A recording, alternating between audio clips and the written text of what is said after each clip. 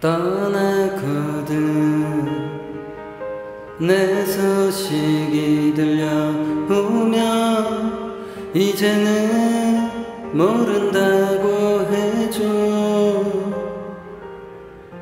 언제나 내 맘속에서 커져만 갔던 너를 조금씩 나도 지우려 해 사랑해라고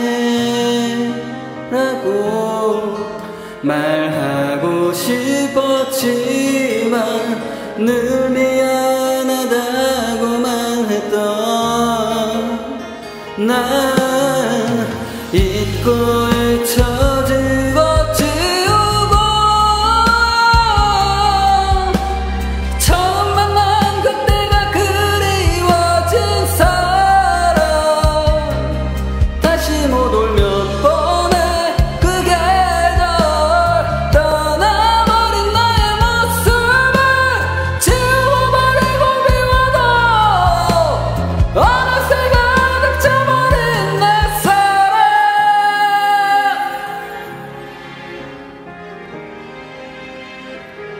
안 된다고 사랑하면 안 된다고 하지만 우린 함께 했지.